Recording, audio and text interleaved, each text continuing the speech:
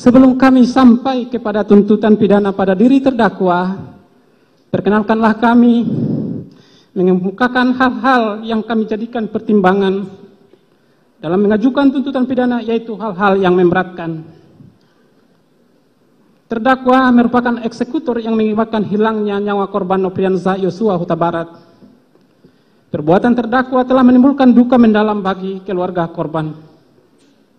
Akibat perbuatan terdakwa menimbulkan keresahan, kegaduhan yang meluas di masyarakat. Hal-hal yang meringankan. Terdakwa merupakan saksi pelaku yang bekerja sama untuk membongkar kejahatan ini. Terdakwa belum pernah dihukum, berlaku sopan dan kooperatif di persidangan. Terdakwa menyesali perbuatannya, serta perbuatan terdakwa telah dimaafkan oleh keluarga korban.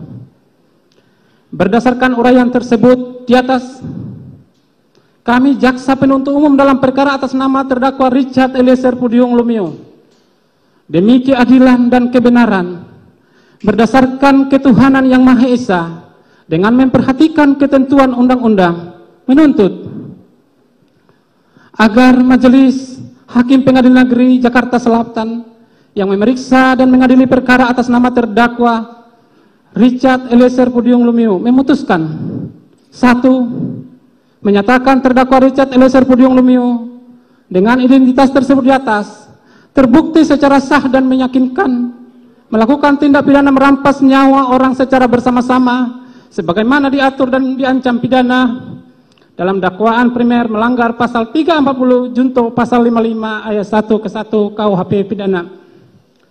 Dua,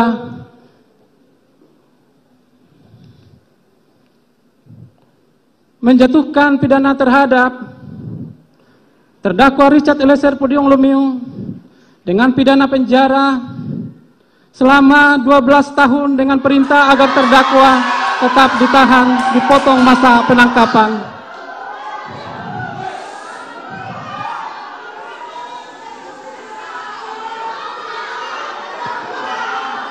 Mohon kepada para pengunjung untuk tetap tenang.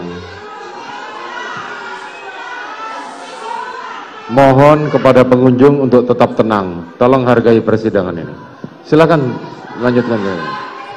Menyatakan barang bukti berupa berdasarkan surat penetapan Pengadilan Negeri Jambi nomor 3636 tanggal 26 Juli 2002 dikembalikan kepada yang berhak yaitu saksi Pera Mareta Simajuntak berdasarkan surat penetapan pengadilan Jakarta Selatan dari nomor 1 sampai nomor 3 dikembalikan kepada JPU yang dipergunakan dalam perkara atas nama terdakwa Arif Rahman Arifin Kepada ini- para pengunjung mohon untuk tenang.